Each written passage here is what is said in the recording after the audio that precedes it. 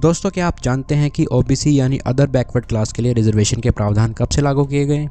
सो so, 1979 में Morarji Desai government ने second backward class commission appoint किया था जिसके चेयरमैन थे बीपी मंडल जो कि उस टाइम पे मेंबर ऑफ़ पार्लियामेंट भी थे।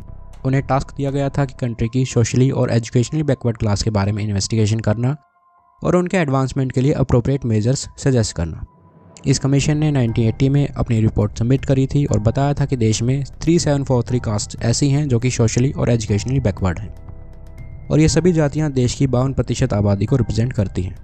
इस कमीशन ने ओबीसी के एडवांसमेंट के लिए 27 प्रतिशत रिजर्वेशन की इन गवर्नमेंट जॉब्स के प्रावधान बनाने का सजेशन दिया था।